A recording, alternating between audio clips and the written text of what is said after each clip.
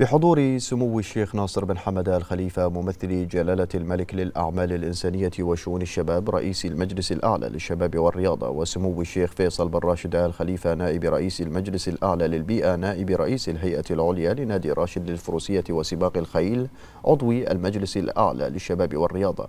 أقيمت ظهر اليوم أولى سلسلة سباقات النسخة الثالثة من بطولة البحرين الدولية لسباق الخيل والتي ينظمها نادي راشد للفروسية وسباق الخيل. كما حضر السباق عدد من أصحاب السمو وممثلي الجهات الراعية للسباق وجمهور من محبي رياضة الفروسية وسباق الخيل. يشارك في البطولة ملاك ومدربين وجياد من مختلف أنحاء العالم وتشتمل على عشرة أشواط ستقام خلال سباقات الموسم.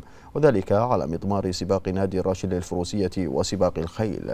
ويأتي تنظيم بطولة البحرين الدولية لسباق الخيل على أثر النجاحات الباهرة والمكاسب الإيجابية التي تحقق حققت خلال تنظيم مملكة البحرين للنسختين الأوليتين من البطولة الدولية إلى جانب النجاح المتميز لسباق كأس البحرين الدولي للخيل واكتساب الثقة والسمعة الدولية في عالم سباق الخيل بما تشكله من نقلة نوعية في مسيرة سباقات الخيل البحرينية عبر استقطاب مجموعة من الجياد العالمية ذات التصنيفات العالية وبمشاركة ملاك ومدربين وفرسان عالميين مما ساهم في تعزيز مكانة مملكة البحرين على خريطة سباقات الخيل العالمية.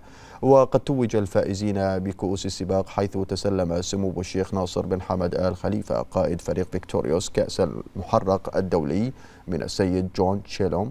رئيس مجلس إدارة طيران تكسل.